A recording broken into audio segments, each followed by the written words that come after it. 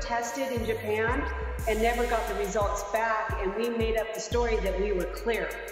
And then on the flight overnight, he came down with a fever. You say you made up the story that you were clear? What was that?